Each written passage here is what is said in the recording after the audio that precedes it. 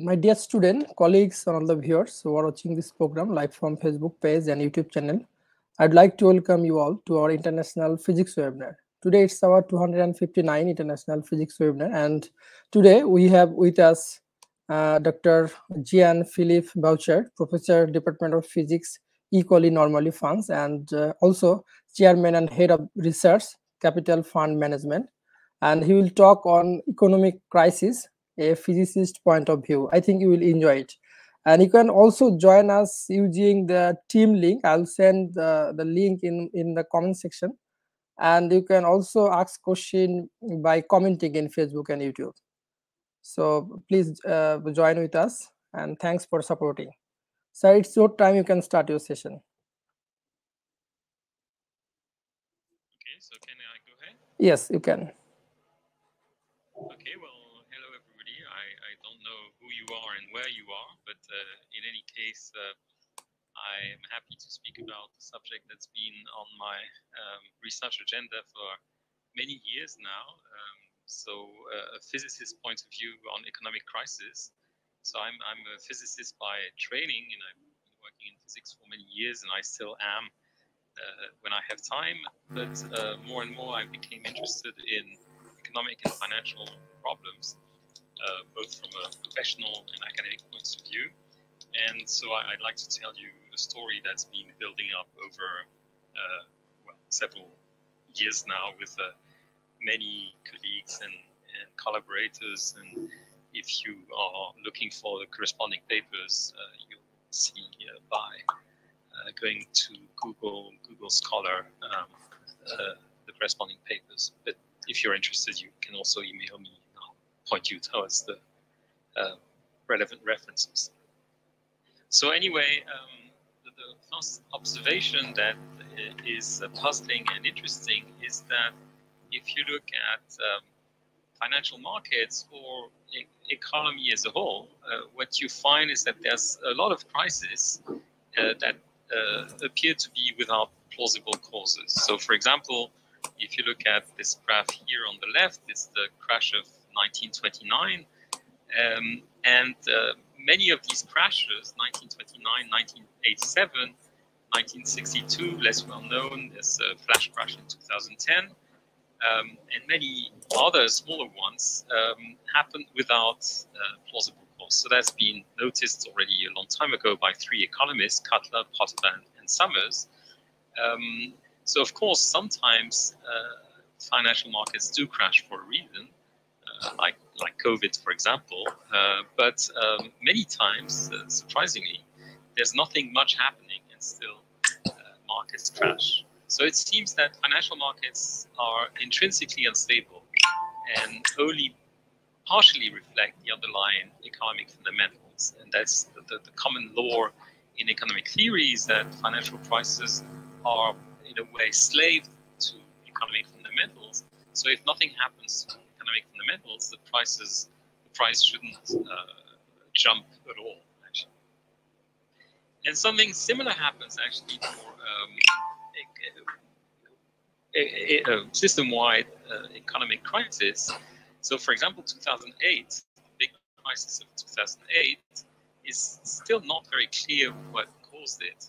Um, people debate, but there's no there's no big event. I mean, people uh, speak about the subprime crisis, but actually it, it is a small cause that had uh, a very big effect on the economy, and that shouldn't be the case.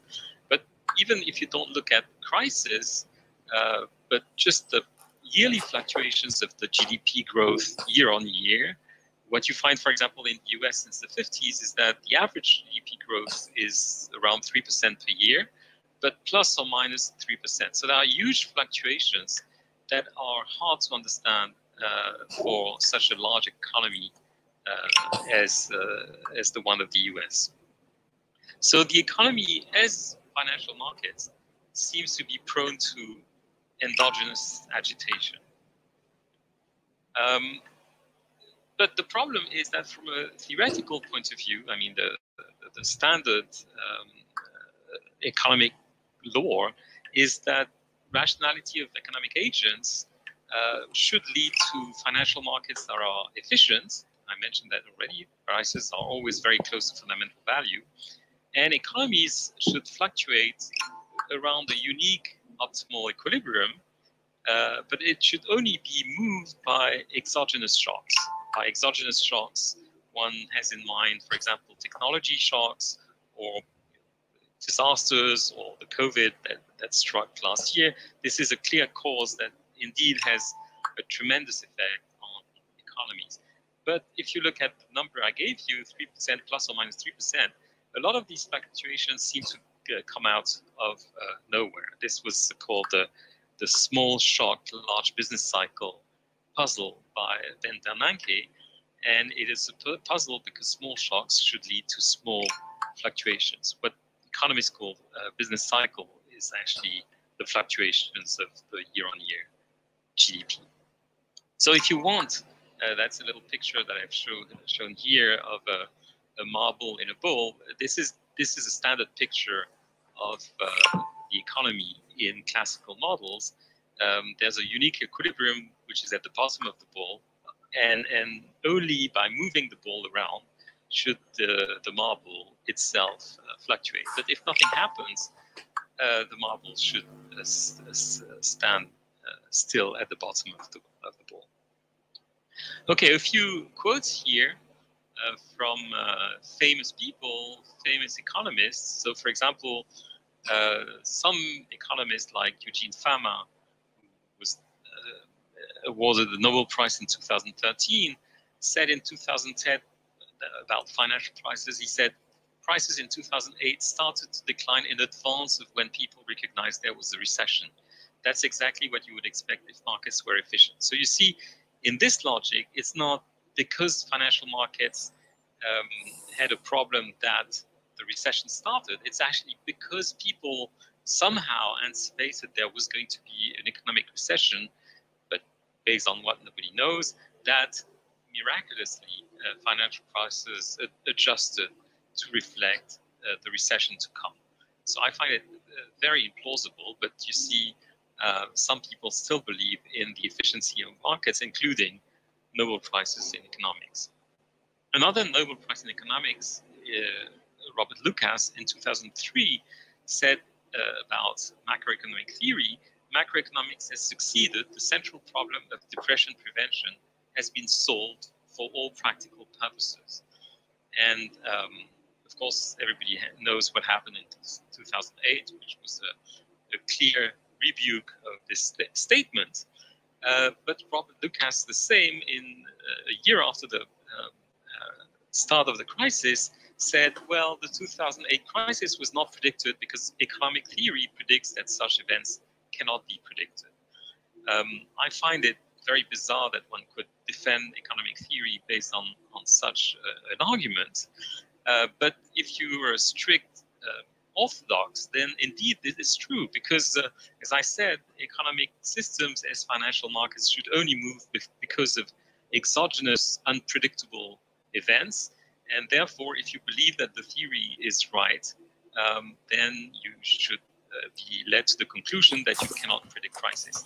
But I think this falls very uh, short of being uh, an acceptable or satisfactory theory of the world, because there's a lot of things that can happen that are not included in standard economic theory, and I'm absolutely certain that we can do better. It doesn't mean that we're going to be able to predict exactly when crisis and all crises will happen, but I think that uh, between the world that economists have, have uh, created, the theoretical world that economists have created, and the real world, there's a lot to be uh, on and, and that later.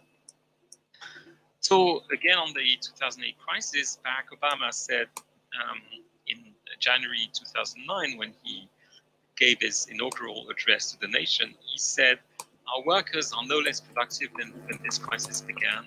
Our minds are no less inventive. Our goods are and services no less needed than they were last week. So what Barack, Barack Obama says is that what happened? You know, nothing material was destroyed and yet suddenly the world has is not the same. And so here we're starting to feel that there's something collective, there's something related to trust to the way human beings collectively um, create world that they live in, which is at stake here. And I'll speak about that from a physics point of view in a second. Also, um, from you know, as a kind of response to um, uh, Robert Lucas, Jean-Claude Trichet, who's head of the European, European Central Bank in 2010, reflecting on what happened in 2008, said models failed to predict the crisis and seemed incapable of explaining what was happening.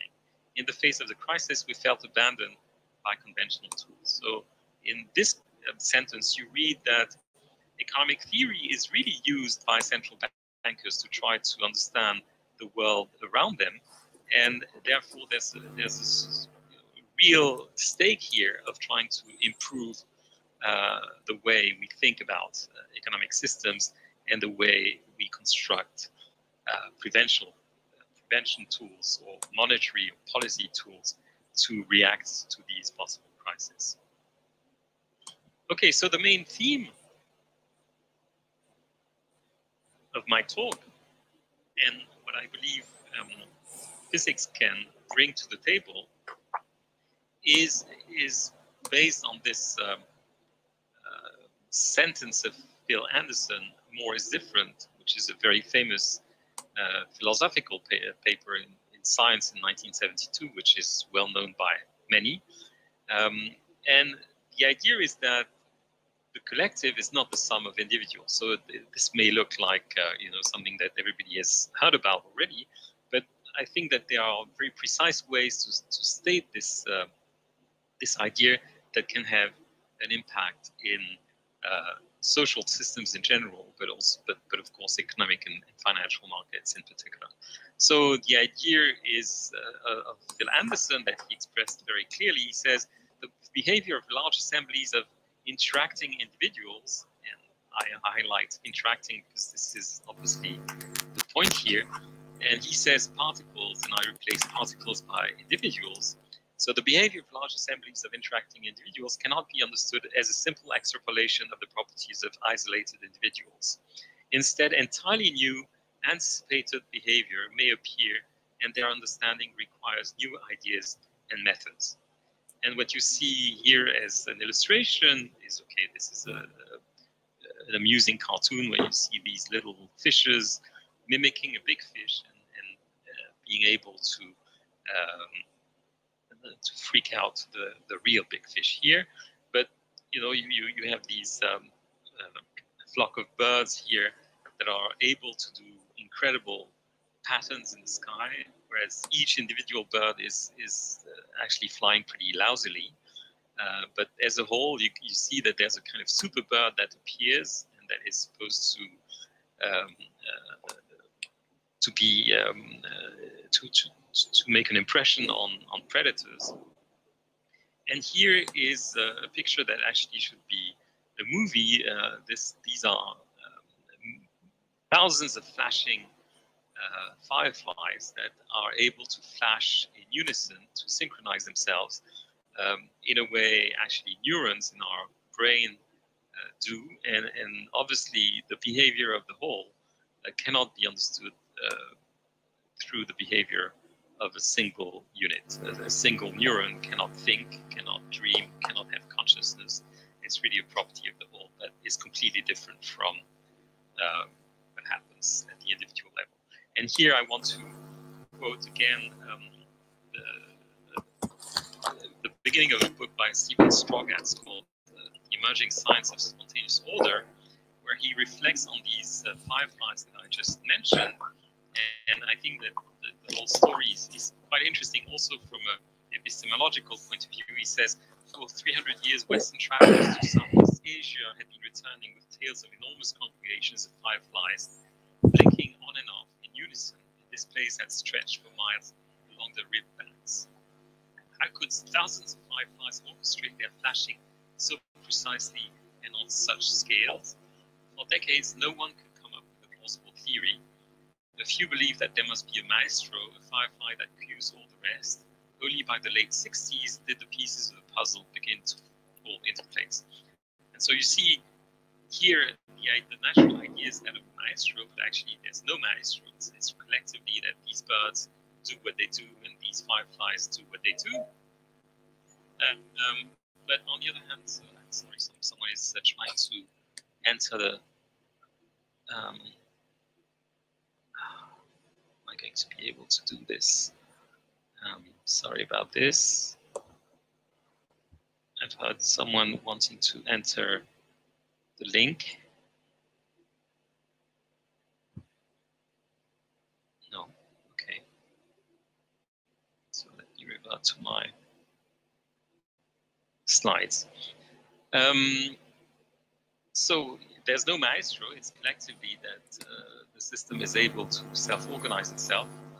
And when Strogatz says only by the late 60s did the pieces of the puzzle begin to fall into place, he actually refers to the fact that people actually started to, to, to ask the same questions about neural networks and, and, start understanding from a mathematical point of view how such a, a, a spectacular collective effect can. Okay, here are a few human examples, uh, riots, um, the Mexican wave in stadium, and if you think about Mexican wave, this is an interesting example. Um, so, as you as you probably know, people start trying to stand up and try to initiate the, the wave that will propagate around the stadium. And um, clearly, it's a collective effect.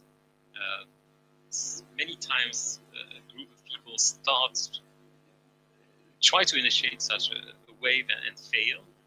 And so there must be a, kind of critical nucleus, a critical size of people, of the group of people doing it to start the, the, the, the, the motion of the wave. And if you think about it, what's non-trivial and what's common to other examples in physics of collective effect is that there's there's broken symmetry in the sense that uh, the Mexican wave can propagate clockwise or counterclockwise priori, and it decides to do so in a way that you know, breaks the symmetry and breaking the symmetry, as we're going to show a little later, is a signal of these uh, collective effects. So riots are also interesting to understand from that point of view. It's often it needs a, a critical mass of people, a tipping point, before riots uh, become um, important. And this was actually by sociologists as well, along lines that physicists uh, would not uh, would, would actually recognize. So I, I try to give various examples of how collective can be very different from individuals.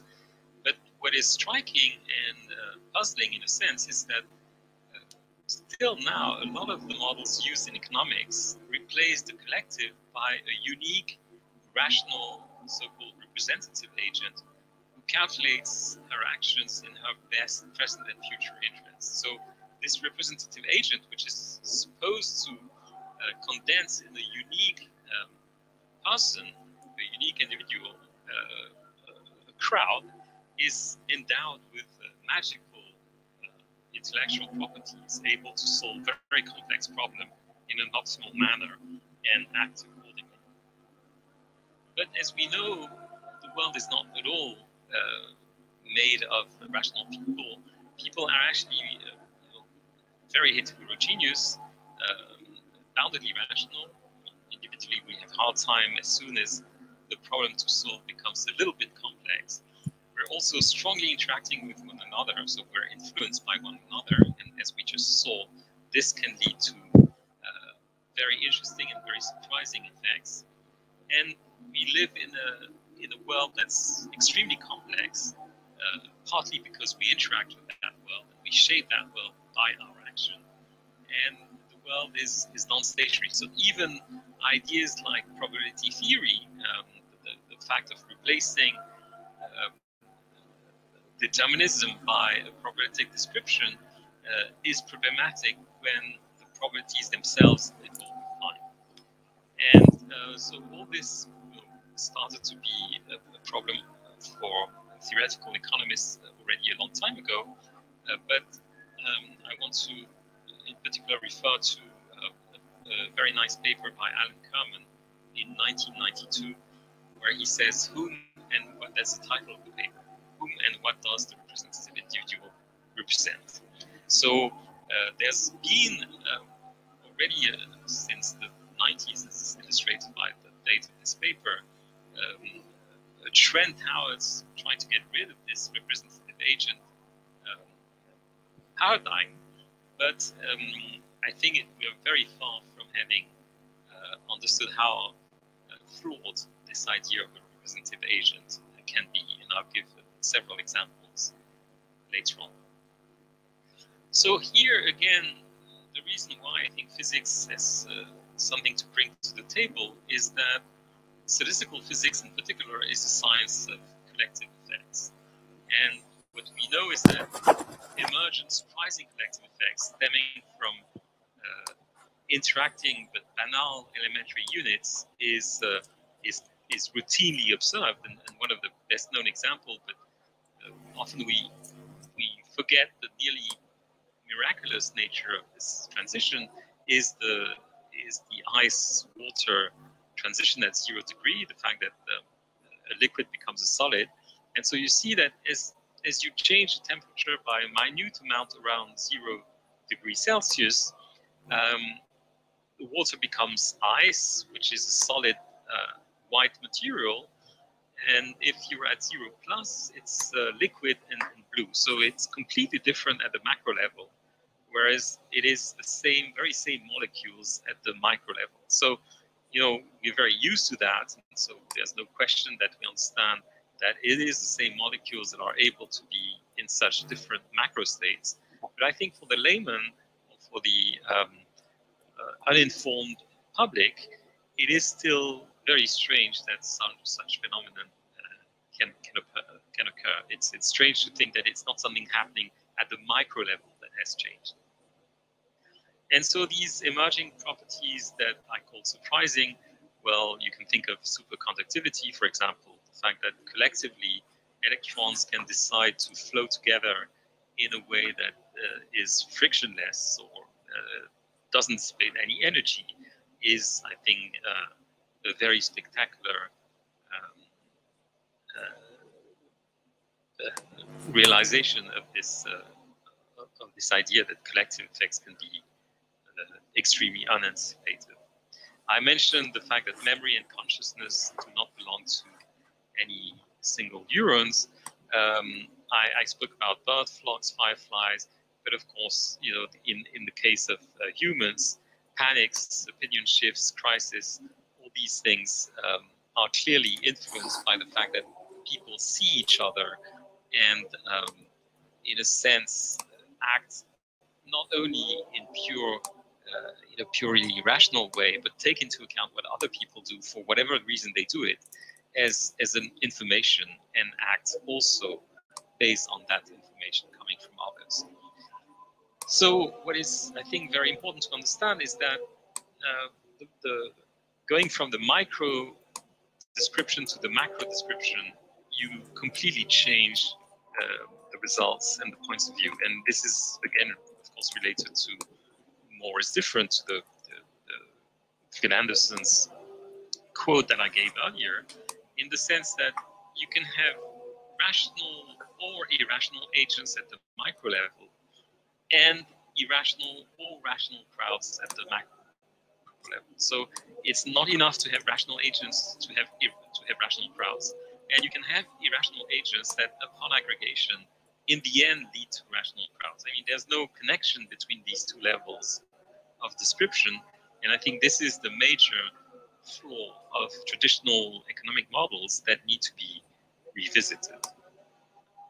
Okay, this is a this is a funny quote from uh, Monty Python that I'm sure a lot of you have seen and, and know. Brian says, "You don't need to follow me. You don't need to follow anybody. You've got to think for yourselves. You're all individuals." And the crowd says, "Yes, we're all individuals." And Brian says, "You're all different." And the crowd answers, yes, we are all different. And the man in the crowd says, uh, I'm not, um, which I find a nice illustration of what I'm trying to say. anyway, in a, in a less uh, funny way, these crowds exist and can lead to indeed uh, spectacular and uh, and terrible uh, phenomena. So, for example, oh, I'm sorry, this is still in French, um, so I'm going to translate. So, what I'm saying here is that a dense crowd, like the one that you see in Mecca here, can actually become a rigid, elastic medium within which uh, uh, pressure So in the case where individuals are sufficiently far from each other, the fact that you move doesn't really affect directly or weakly affects your neighbors. But when you're at close contact, when the crowd becomes extremely dense, then individuals disappear in the crowd in, in, a, in a real sense. That is that the, your motion is not due to your will, but is due to what other people are doing. And as uh, people individually try to do things in a disorderly way, these pressure waves can build up and actually can crush people and kill people. It's not really stampedes that kill people, it's these pressure waves that, uh, that lead to uh, suffocation. So here you have an extreme example of uh, what it means to go from the individual to the collective. There's, there's a, new phenomenon, which is called the jamming transition in physics, where um, particles, when they start touching each other, they can create a solid, whereas when they are far away from each other, they are a liquid. And the little graph here actually is, is a measurement of these uh, pressure waves in the crowd, uh, constructed from camera views in, in Mecca. So more um, closer to, to physics, I think you know one uh, example that everybody knows about are magnets. The fact that the, each spin tries to gives an information to its neighbors that they should point in the same direction, and depending on temperature, on the strength of interaction, you can either either have uh, collective behavior that's completely disordered, and so there's no nothing happening at the macro scale, or when interactions become stronger or temperature lower, then um, the orientation taken by all these spins become uh, coherent over the whole material, and the object becomes a magnet. Um, so in this case, you recover the breaking of symmetry that I talked about. Um, at the low in the in the low temperature phase, all these spins are going to point either up or down. But a priori, they had to choose. They had the, the choice between up and down, and it was completely equivalent. But because of a mere fluctuation, uh, the whole system decided to go one way or another. So, coming back to what I was speaking about at the beginning of the talk, the fact that um, in economics, prices should be related to fundamentals. You have an example of a very spectacular macroscopic phenomenon that is not related to fundamentals. There's nothing a priori selecting plus or minus or up or down, but still the system spontaneously, in a self-consistent fashion, decides to orient itself in one direction or another. And this example now it's it's a school of fish rather than, uh, birds, but it's the same idea.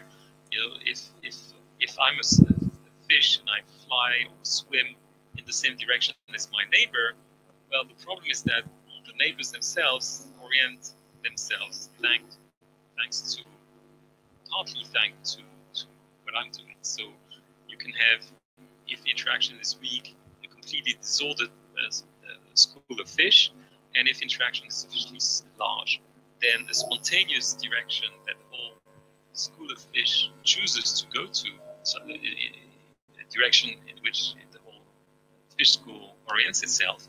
But again, there's no, no particular reason why this direction should be chosen any other one. It's a, it's a spontaneous uh, phenomenon that appears somewhat at random, but the fact is that it becomes collective and macroscopic. And what's interesting is that there's a special critical point that, it, that, separates two phases, a critical point or a critical line, like in this uh, famous phase diagram of usual bodies, uh, where whereas in the solid phase or in the liquid phase, in the gas phase, nothing much happens. But close to these boundary conditions, not, sorry, not boundary conditions, close to these boundaries, then there, there can be uh, discontinuous events taking place even when the pressure or the temperature is only slightly changed. And I gave that example for uh, liquid water becoming uh, ice. So the fact is that we're all social animals. Here is a quote by Poincaré, which I left in French, but on purpose this time because uh, because Henri Poincaré was, was of course French, and Poincaré noticed the following. He said that when men come close together, they don't decide randomly and independently from one another. They react on one another. Uh, multiple causes uh, come into play. They trouble men. They, uh, these causes uh, throw them right and left. But there's something that survives all this, and it's their um, is the fact that there are uh, panurge sheeps. That is, uh, sheeps that will follow one of them. So this idea that uh, humans are probably not as rational as economists, the economic theory wants them to be, and that uh, new effects can arise through this interaction is obviously a very old idea. The, the, the, only problem is, of course, to make these ideas into something uh, tangible from a theoretical point of view. And here I give several examples of this uh, human collective behavior so these are love locks on the Bridge of Paris that I used to cross when I was going to work. And what was really spectacular is that um, I was crossing these, this bridge every day, it's des Arts in Paris. And you know, in, in a matter of uh, a few weeks only, uh, there was uh, at the beginning only a few of these love logs. and after maybe three or four weeks, the whole bridge was covered with them, which you know illustrates the strength of this imitation force, this copycat force that, that tends to um, orient our, our, actions. This is a graph of the number of uh, surnames, case Stephanie, that were given uh, in France uh, between 1900 and 2010. And uh, well, there's a Princess Stephanie of Monaco, the little girl that you've seen that you see here, that was born in 1965 and then suddenly everybody um, wanted to call, uh, well, not everybody, but there was at, at the peak 23,000 uh, Stephanie in the same year in 1973 or something.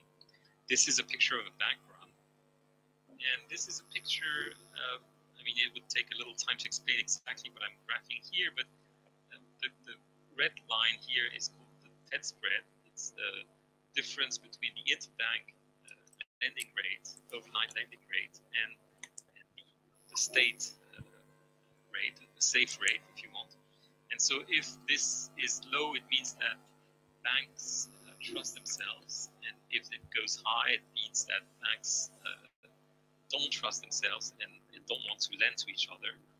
Um, and what you see is that in, in 2008, what happened is that suddenly this this kind of uh, gauge of mistrust gauge uh, shot up uh, very brutally in a matter of, uh, of, a day or two after Lehman's uh, demise, actually. And this, this was really a kind of uh, collective loss of confidence. And in the same way as I explained that I fly in a certain direction because you fly in a certain direction, here it's really I, have lost trust because you've lost trust because I've lost trust. And uh, although there's an initial event that creates this loss of crisis, if you think about the real reason, uh, there was no objective reason why uh, the financial crisis of 2008 uh, should have been so intense, but it did so because of this propagation of uh, confidence loss. These are other examples of spectacular, spectacular effects that confidence loss can um, impose on, on society. For example, hyperinflation. This is a real banknote, actually, uh, 100 trillion dollars uh, by the Reserve Bank of Zimbabwe, and this is the history of the of the great inflation in, in Germany. So as soon as uh, you know, people lose trust on the value of money, then um, hell can break loose, and, uh, and, and you know, terrible things can happen. So how to go beyond uh, the traditional models where rational agents and rational agents and, and single representative agents. Uh, well, one route is to embrace the complexity of the world by simulating. So, of course, simulation is well known in physics, but it's not yet so well accepted in uh, economic quarters. And, and so, this is, I think, a fight that physicists are well positioned to, uh, to, to win. And of course, you know, things are progressing in this direction already, but there's still a lot to be done in, in that direction. So I'll, I'll try to explain a little bit with an example what uh, simulation can bring to, to the table. And before doing that, um, I'm quoting here uh, um, an op-ed by Mark Buchanan in the New York Times in October 2008, where it was called "This Economy Doesn't Does Not Compute," and he was trying to advocate the use of uh, more numerical simulations in economic theory, and he was saying something that I think physicists are well aware of, but uh, again, that needs to be propagated in, in the economic uh, literature.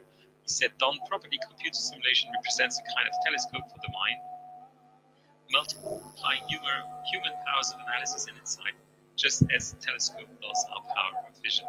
With simulations, we can discover relationships that the unaided human mind, or even the human mind aided by the best mathematical analysis, would never grasp. And so here, the idea is, is again that of, of these collective effects that can emerge from these simple rules, but that are sometimes beyond imagination. If you think again about my example of superconductivity, nobody have thought about such a, a spectacular effect before its experimental discovery. And the point of numerical simulation is that it can play the role of uh, experiments. You can experiment with numerical simulation and discover phenomena that your imagination wouldn't have been able to uh, discover. And so here I'm, I'm, showing two black swans because this is the theme of the of the black swan uh, paradigm of Nassim Taleb, things that uh, exist but that you're uh, unable to imagine. So simulation is probably a lot of you know is, is well known and, and used in, in, physics and we simulate with uh, molecules uh, complex behavior. So what I'm showing here is actually this counterintuitive effect uh, that is again related to the problem of crowds in Mecca that by blocking an, is- uh, an issue here uh, blocking a door, you can um, an exit. Sorry, by blocking this exit, you can actually improve the flow out of out of the room. And so the problem is that when uh, too many people try to exit the same by the same room, then there's this jamming phenomenon that I talked about earlier. That means that the flow is actually extremely weak. But if you try to organize the flow by by blocking the, the exit, blocking not entirely, but making, forcing people to go around the, this, this, this round column and organize the flow, then you actually increase the flow compared to a situation without, um, without a, a, an obstacle. And so this is very counterintuitive, but this is something that you can discover using numerical simulations, for example. And this is a solution that is actually now implemented in, uh, in Mecca. But this is, of course, one example out of many other examples that where uh, by using um, agent-based simulations, that is, uh, simulation based on individual units that follow simple rules, you can see this uh, emerging complexity appear, and uh, and, this forces you to think about the unexpected. So um, so as I said, this is uh, this is well known in physics, but it's probably not as well known uh, in economics. And let me give you a few examples of uh, of these collective phenomena that can appear. So let me first start with um, a model that was invented by Thomas Schelling, who was the uh, actually also got the Nobel Prize in economics, and, and was I think the first economist to think about these collective effects a long time ago. And it's uh, strange in a sense that uh, he didn't have uh, more impact on, on his own community. So his model was uh, devised to try to understand why there's racial segregation in some US uh, cities, whereas individually people are not that uh, intolerant uh, people are actually okay to live in neighborhoods where they're not in minority. They, they, they are even okay to be 50-50 in the same neighborhood. But still, with time, um, neighborhoods become more and more segregated, either racially or socially. And so he came up with this very simple model. And what the, the version of the model I'm going to explain is, is not exactly his model, but it's a, it, it's, a, it's a slightly amended version of the model that uh, was proposed by these uh, physicists here, Grauwin, Bertin, Lemoy, and Jensen, a few years back. So in this case, you think about the city as a collection of uh, neighborhoods. So each square here is a neighborhood, and each agent has um, a utility function, a satisfaction that depends on the local density of the neighborhood he or she lives in. And the idea the, analog of this uh, tolerance effect that I talked about a few sentences ago is to say that people actually would prefer to live in neighborhoods that are half filled.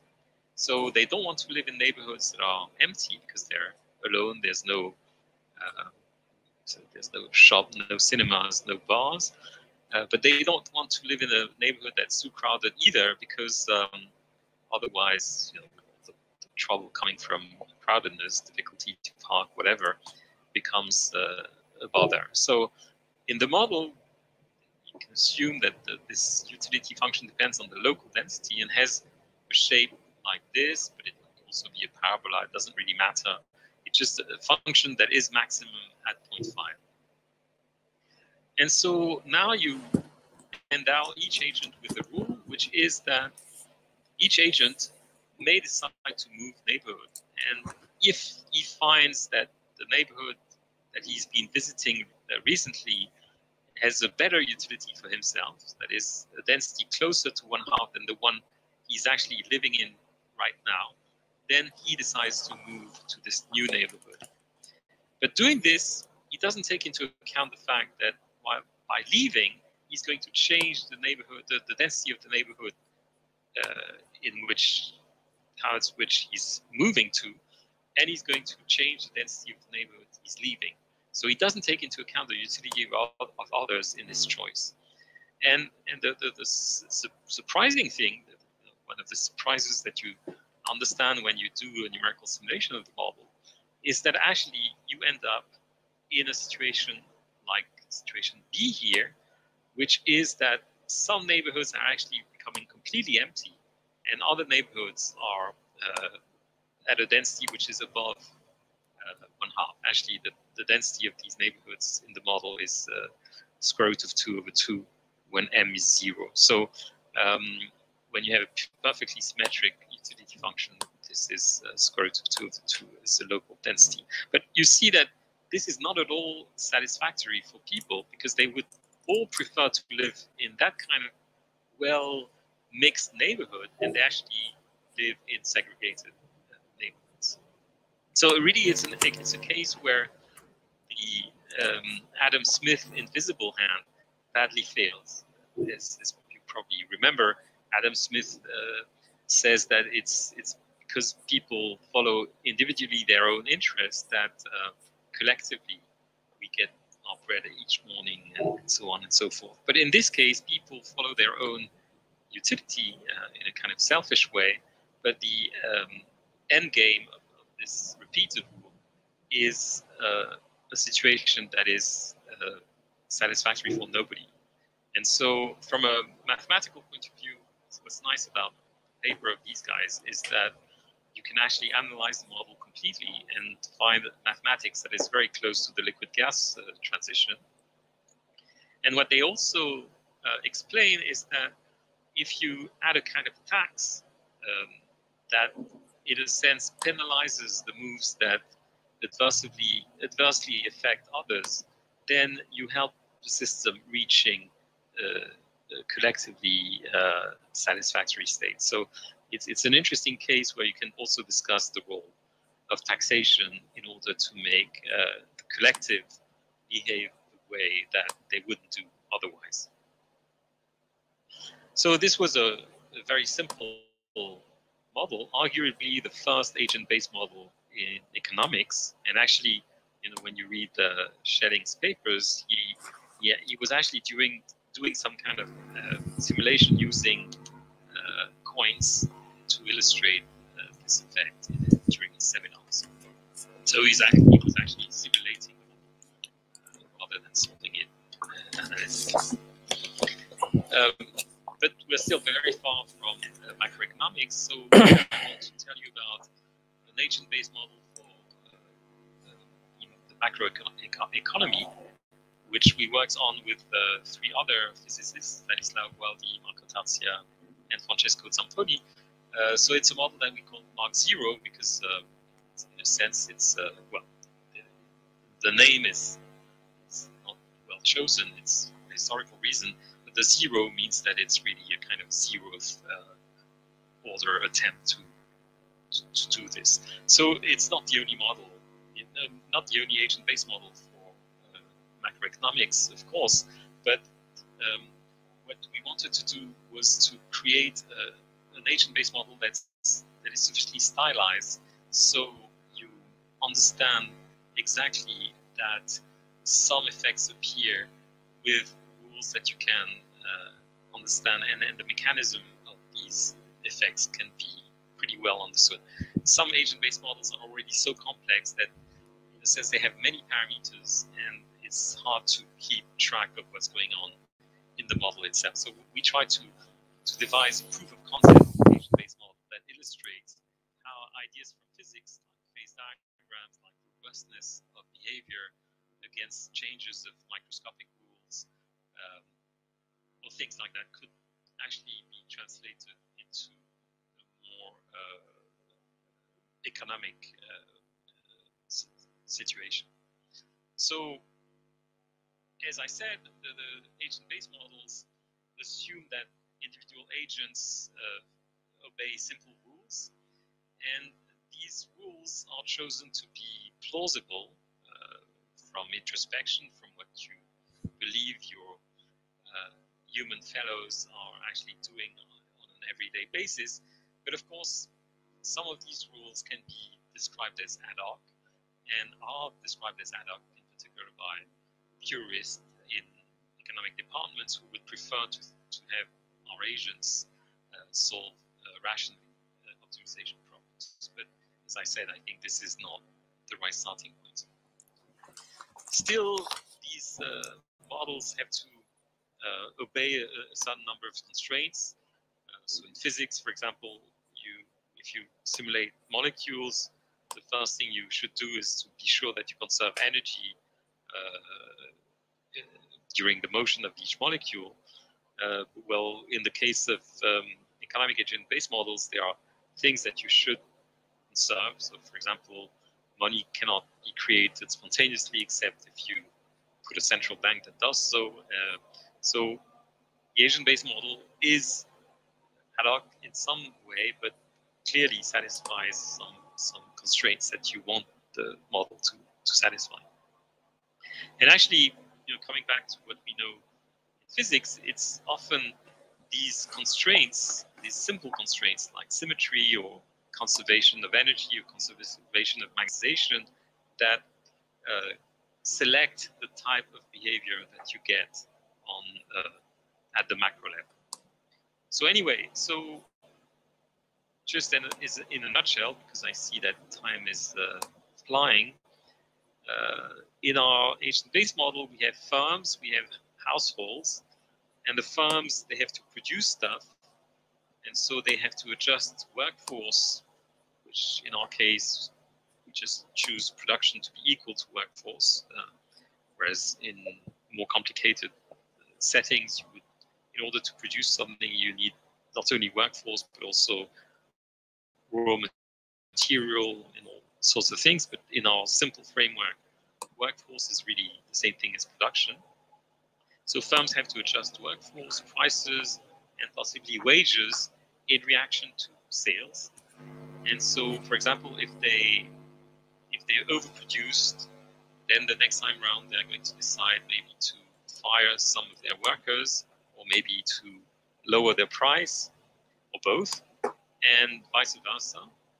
And there's a very important parameter that's going to appear, so I put it in red here, which is the ratio between the speed at which firms hire uh, as a response to uh, demand being larger than supply or fire in the uh, opposite situation. So if firms react higher faster than they fire, if you want, then this ratio R is going to be greater than one. But if they overreact by firing people as soon as they overproduced, then this ratio is going to be lower than one. Households, well, households work, of course, but they also consume. And so the, the, the rule here is that they consume at each time step, they want to consume a certain fraction C of their savings. And while shopping around, they, they will try to choose firms with, uh, with lower prices. And then if you start running the model, you realize that firms make profits, but also make, uh, losses. And so they very quickly can run into debt, as is the case uh, also in real life. And what we do in the model is that we allow firms to get into debt up to a certain level. And this level is uh, parameterized by this, this, letter M here, this red M, um, which is a multiple of total sales. And so if the debt of the firm is, um, say, uh, less than three times the total sales, one time the total sales, this is going to be a parameter, then banks allow the firm to uh, survive and keep its credit line open. But if the debt exceeds this uh, multiple M, then the bank uh, stops sell, uh, stops um, lending and forces the firm to default. So there are defaults in the model, and when a firm defaults, uh, in order to prevent attrition of the economy, uh, we randomly replace defaulted firms by new firms with a certain rate. I mean, it takes time for new firms to appear when one has uh, uh, gone under. And so, for example, one of the uh, constraints that I was talking about earlier is when a firm defaults, its, its debt doesn't disappear. It has to be um, shared between uh, households and surviving firms and that's what we do in order again not to have money uh, created out of nowhere. And then we can also have a central bank that, that fixes the interest rate at which these uh, these debt must be uh, repaid. So you see, what I didn't mention is that we try to keep the model as simple as possible. And here I'm, I'm uh, highlighting three parameters, but um, the model in total has something like seven or 10. It's very, very hard to reduce the number of parameters uh, substantially uh, lower.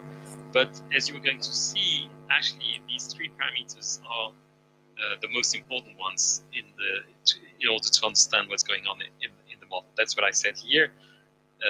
There's a minimum of seven parameters. That's the least we could, the smallest we could do.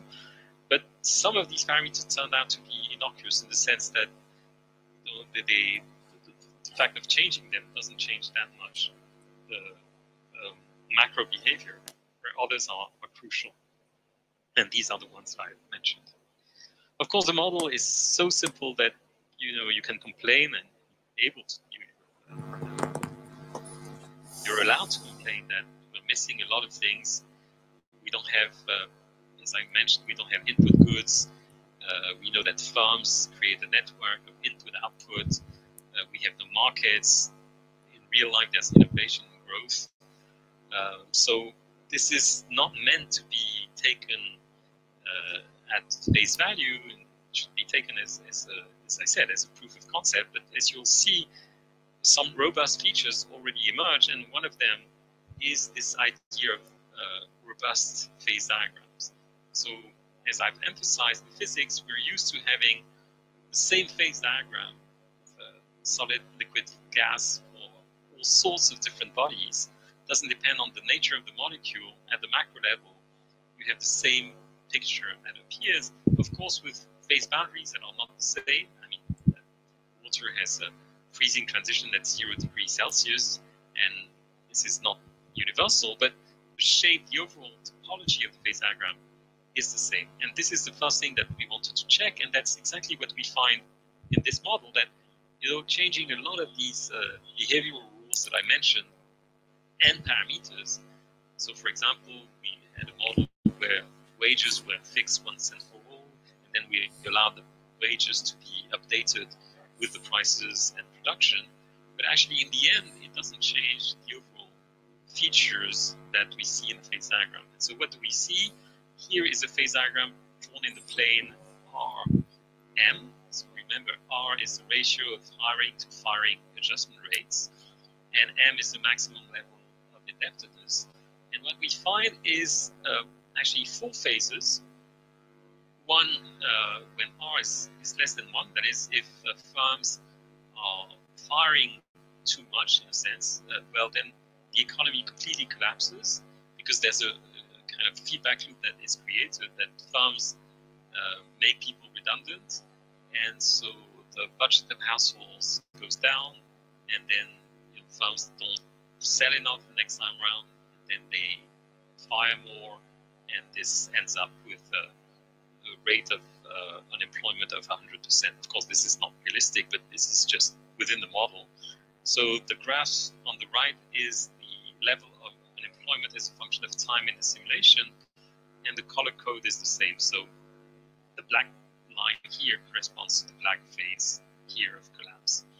Then there's a, a good phase where um, firms hire faster than they fire, and the level of indebtedness before failing is high. So you leave um, ailing firms uh, the chance of recovering, and this is good for the economy.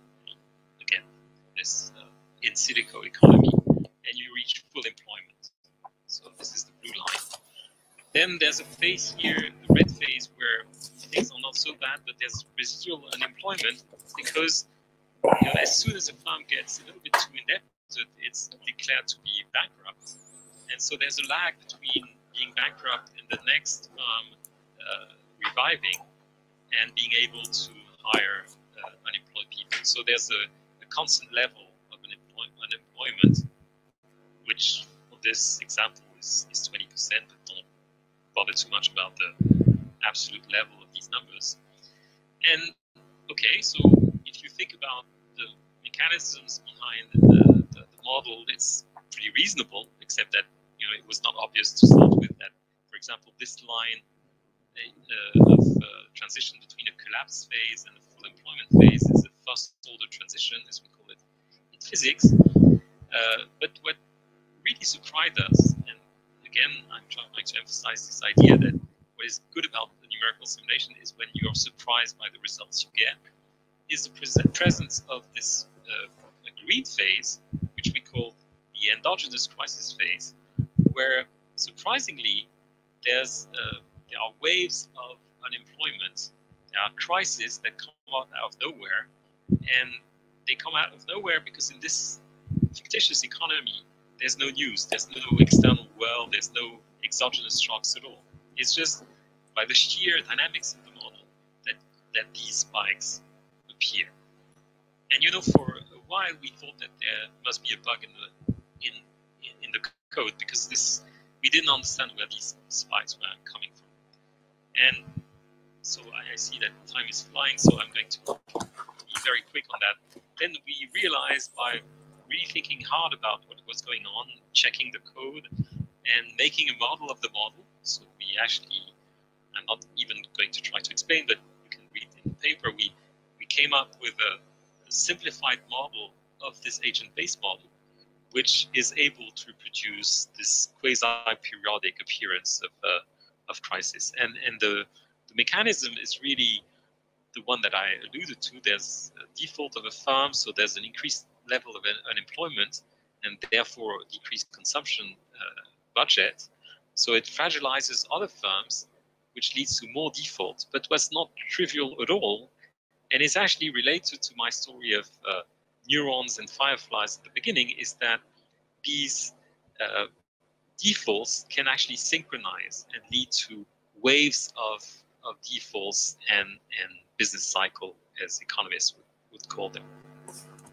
Okay, so we've adapted this model to Mark Zero, but I think to uh, the COVID crisis and trying to understand whether the economy would have a V-shaped recovery or an L-shaped recovery, and I'll I'll skip that because it's going to be too long. But uh, so let me conclude.